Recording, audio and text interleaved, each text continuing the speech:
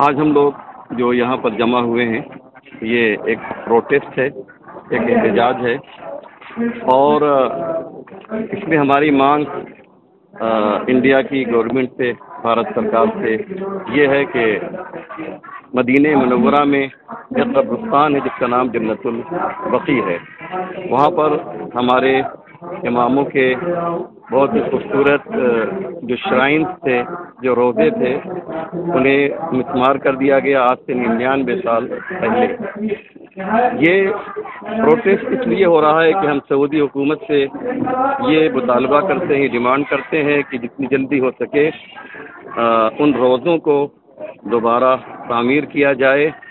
और अगर उन्होंने ये रोज़ा तामीर नहीं किया तो हमारा ये प्रोटेस्ट हमेशा जारी रहेगा। आज आप देख रहे हैं कि यहाँ पर महाराष्ट्र के उलमा, खुतबा, दानश्वरान शुरा और बहुत से ममनिन यहाँ पर मौजूद हैं।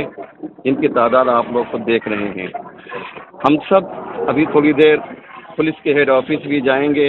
ये जो पूना में इसका हेड ऑफ़िस है, वहाँ जाएँगे। पी एम को भी मेमोरेंडम देंगे। ये जो प्रोग्राम हो रहा है, ये अलबकी ऑर्गेनाइजेशन महाराष्ट्र और शिया बोर्ड महाराष्ट्र की जानब से ये प्रोग्राम हो रहा है। मैं आप तमाम हजरात का भी शुक्रिया अदा करता हूँ प्रेस वालों का जिन्होंने आज जहमत उठाई और हमारे इस प्रोग्राम को कवरेज दे रहे हैं। बहुत बहुत शुक्रिया। धन्यवाद आपका। देखिए अरबी ज़बान में एक ज़रबुल मसल एक, एक मुहावरा है एक कहावत है कि नहनो मुकल्लफून बिल अमल ला बिल नतीजा। हमारा काम प्रोटेस्ट करना है रिज़ल्ट हमारे हाथ में नहीं है। ये हमारा मजहबी हक है, ये हम सियासी हक नहीं है हमारा। ये हमारा मजहबी हक है, हमारा काम प्रोटेस्ट करना है, क्योंकि हमें उनसे एक अकीदत है, वो जो जिनकी कब्रों को मिसमार किया गया है। तो हम तो कोशिश करेंगे, और ये कोशिश हमारी जारी रहेगी, हुकूमत इसको कबूल करती है, नहीं करती है, वो उसका अमल है। लेकिन हमारी जो नीयत है हमारा जो इंटेंशन है वो यही है कि हम जो है हुकूमत से कहें यानी हमारा कंटेंट ये है जो मैंने आपको बताया। उनका इंटेंट इंटेंशन क्या है वो हुकूमत जानती है। उम्मत मुस्लिम से क्या अपील करेंगे जी हाँ मैं तमाम आलम इस्लाम से ये गुजारिश करूँगा कि इसमें हमारा साथ दें क्योंकि कब्र का जो मसला है वो ज़्यादातर मुसलमान इसे मानते हैं। 95 परसेंट सुन्नी और शिया अगर आप देखेंगे तो वो कब्र के बारे में नज़रिया रखते हैं कि कब्र होना चाहिए। एक बहुत छोटा सा ग्रुप है मुसलमानों में जो कब्र का मुखालिफ है।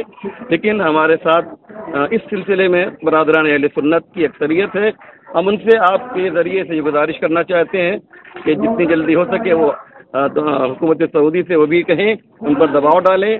हम सब मिलजुल कर इन ये काम करेंगे। हमें यकीन है कि हमें कामयाबी एक ना एक दिन ज़रूर मिलेगी।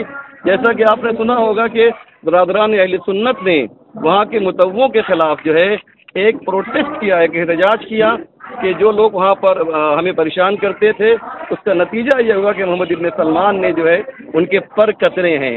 वो ये ये कैसे हुआ? ये उनके एहतजाज से हुआ। उन्होंने प्रोटेस्ट किया। तो हम भी प्रोटेस्ट करेंगे तो हमारे लिए भी इन नतीजा अच्छा साबित होगा, ये हमें उम्मीद और यकीन है।